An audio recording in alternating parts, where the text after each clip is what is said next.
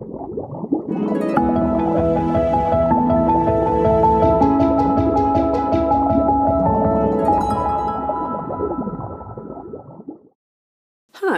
I'm Hannah from the Planet Tuna team, and we want to ask you a question. Is there any connection between bacteria and the tuna in this can?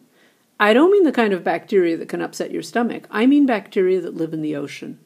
Until a few decades ago, these bacteria were almost completely unknown, even though really they rule the marine ecosystems, and without them there would be no tuna, canned or otherwise. Let me introduce you to one of them. Please meet Prochlorococcus, a photosynthetic bacteria. Hi, how come scientists weren't aware of you?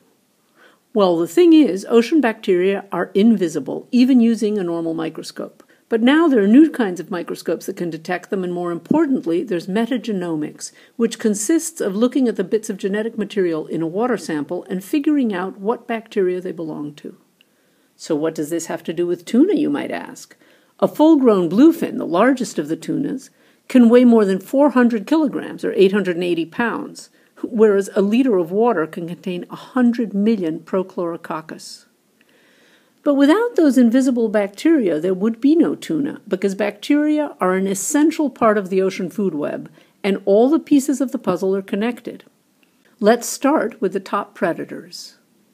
We all know that the big fish eats the little fish. The little fish eat other smaller fish, crustaceans, and cephalopods. These little guys feed mostly on zooplankton. Zooplankton consists of all sorts of tiny animals, including the larvae of fish and invertebrates, tiny crustaceans, and unicellular protists, all floating around in their salty home. And what do they eat? Well, most of them eat phytoplankton, which are like tiny plants because they make their own food using water, CO2, and sunlight. Phytoplankton include microalgae like diatoms and dinoflagellates, and also a whole bunch of photosynthetic bacteria, such as our friend Prochlorococcus.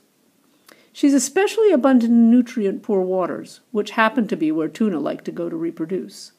Here we see her basking in the sun and feasting on carbohydrates that she makes out of CO2 and water.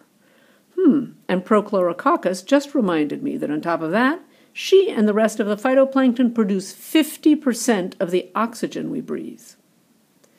But in order to live and reproduce, phytoplankton need more than just water, CO2, and sunlight. They also need elements like phosphorus and nitrogen. Correct, Proclo? Yep, she says that's so.